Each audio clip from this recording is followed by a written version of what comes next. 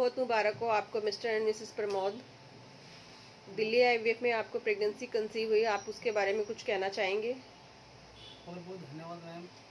मैं एकदम सब दस साल से बहुत ज़्यादा परेशान था दोनों, और बिहार बिहार मेरा घर है वो बहुत बहुत दिन से परेशान था। बिहार में बहुत जगह दिखवाया, इसको इलाज करवाया, आईवीएफ भी कराया था बिहार में जगह तो वहाँ से कुछ नहीं हुआ।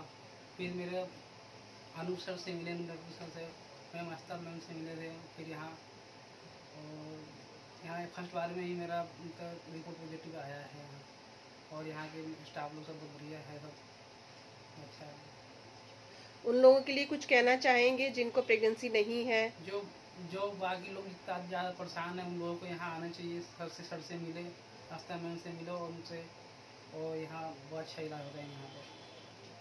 Thank you so much sir बहुत बहुत धन्यवाद आपका। आप दिल्ली आई में आए और आपने यहाँ पे इलाज कराया। उसके लिए बहुत बहुत धन्यवाद आपका।